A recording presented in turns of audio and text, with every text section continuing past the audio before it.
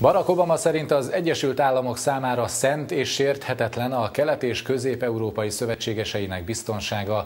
Az amerikai elnök erről Varsóban beszélt. Obama egyúttal 1 milliárd dollárt ígért az ukrajnai harcok miatt aggódó térség biztonságának erősítésére.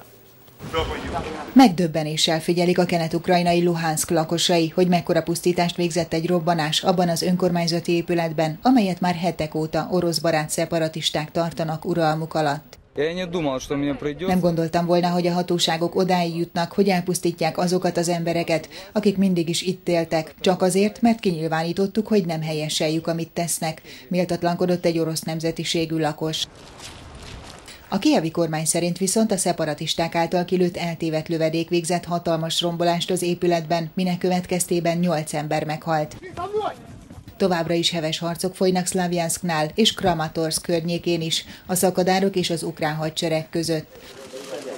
Az ukrajnai válság miatt az Egyesült Államok azt tervezi, hogy növeli katonai jelenlétét Kelet-Európában. Erről az amerikai elnök beszélt Varsóban.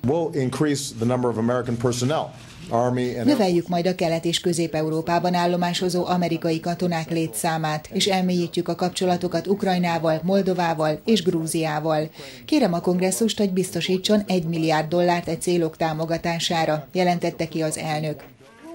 Obama felszólította Oroszországot, hogy vesse latba befolyását annak érdekében, hogy a kelet-ukrajnai szakadárok letegyék a fegyvert. Egyben figyelmeztette Moszkvát, további szankciók várnak rá abban az esetben, ha a nyugat úgy látja, hogy destabilizálja Ukrajnát.